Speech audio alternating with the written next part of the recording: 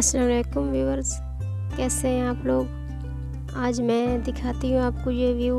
हमने D I Khan जाना था तो मैंने सोचा कि आपको भी साथ साथ विज़िट करवाती हूँ और आपके लिए वीडियो शूट कर लेती हूँ।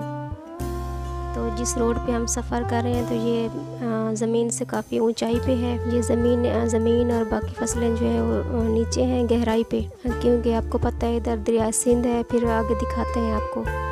तो इस वजह से रोड जो है ये काफ़ी ऊंचाई पे बनाया गया है। जी वीवर्स ये रोड जो है बहुत ही ख़तरनाक है क्योंकि ये काफ़ी ऊंचाई पे है और तकरीबन रश भी ज़्यादा होता है यहाँ पे बाइक्स का और ट्रक्स, लोडर वगैरह का। क्योंकि यहाँ जो है उधर से सारा जो माल सप्लाई होता है खैबर पख्तूनख्वा से और पंजाब की तरफ़ तो पंजाब पुलिस आगे मतलब ये दरिया के पास ही है। इनकी सरहद जो है जहाँ पे एंड होती है।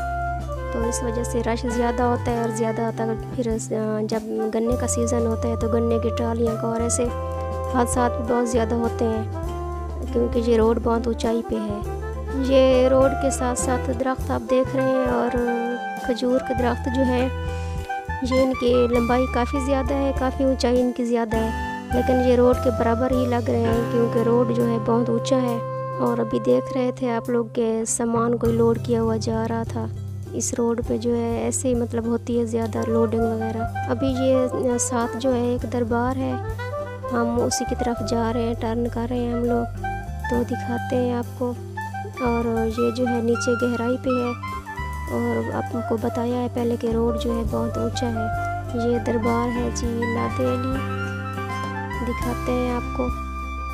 ये देखें आप लोग। ये इसकी जो है सीढ़ियाँ लगी हुई है। स्टेप्स बनाई हुई है यहाँ पे। क्योंकि काफ़ी ये नीचे गहराई पे है तो आसानी के लिए रोड से उतरते वक्त ये जो सीढ़ियाँ लगाई गई हैं, ताकि मुश्किल ना हो लोगों को, और कोई गिरे भी नहीं। जी, ये आप देख रहे हैं, यहाँ पे गर्मी के मौसम में बहुत ही अच्छा लगता है, और बहुत सारेदार दरख्त हैं, और बहुत अच्छा फील होता है, और बहुत सुकून मिलता है। ये देखें घने दरख्त, और ये लोग जो हैं, कुछ इन्होंने स्टॉल्स लगाए हुए हैं।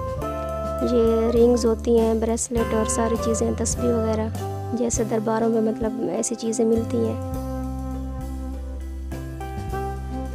जी तो अब हम जा रहे हैं डी आई खान की तरफ़ सफ़र कर रहे हैं। जी व्यूवर्स देख रहे हैं आप लोग, ये जो है पुलिस का था तो वो पुल टूट चुका है।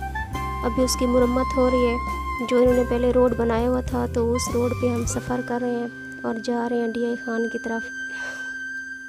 तो हमारे साथ रहिएगा, दिखाते हैं आपको ये सामने आप देख रहे हैं। जी, जैसा कि मैंने आपको पहले बताया है कि इस रोड पे ट्रक्स ज़्यादा होते हैं तो ये गाड़ियाँ देख रहे हैं आप ट्रक्स इन पे सामान मतलब ज़्यादा स्मगलिंग भी होती है, गंदम वगैरह की।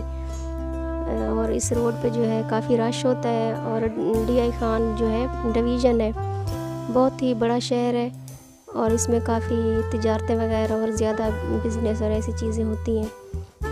तो ये काफ़ी बड़ा शहर है, रश भी बहुत ज़्यादा होता है यहाँ पे। पहले जो है आज से आठ दस साल पहले जो है, ये बहुत ही प्यारा शहर था। तो इसके बाद जो है, तालिबान की वजह से और कुछ ऐसे दहशत गर्दों की वजह से जो धमाके हुए और तो उसकी आबादी भी बहुत मुतासर हुई। कारोबार सारा कुछ जो है, बैन हो गया था। अभी ये देख रहे हैं ट्रक का आप लोग। और ये रिक्शा, ऑटो है, बाइक्स वगैरह। लेकिन बहुत बड़ा शहर है, इसमें रश बहुत ज़्यादा होता है। जी तो आज जो है गर्मी बिल्कुल बस ना होने के बराबर है। मौसम अच्छा हो रहा है और सफ़र भी बहुत इन्जॉय किया हमने बहुत अच्छा गुजरा है गुजर रहा है हमारा सफ़र। गर्मी नहीं लग रही बिल्कुल भी। अब वैसे भी आपको पता है कि गर्मी का सीज़न जो है एंड होने वाला है।